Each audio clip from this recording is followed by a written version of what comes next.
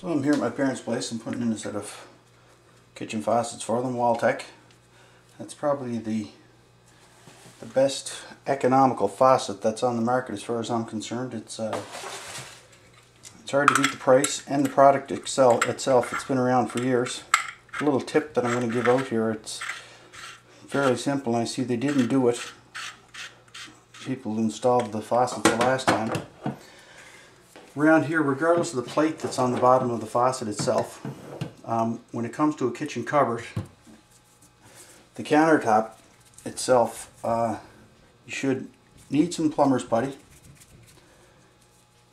Just take a little of it like so. Make a roll like that. Take it, just wind it around the faucet. What that does, that prevents the water from going down and destroying the cupboard, or the countertop.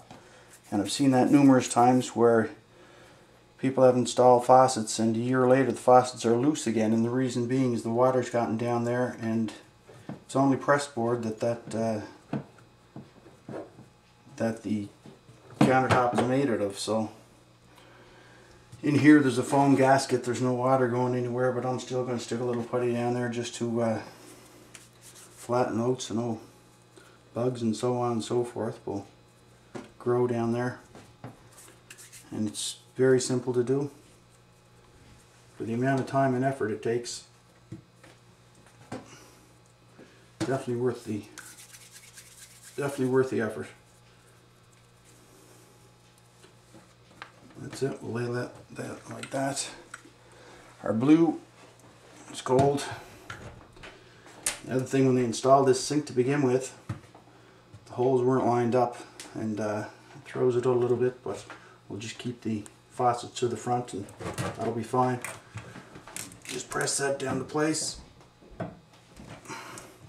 We'll put our tie downs that'll pull all the putty out and you'll be good to go.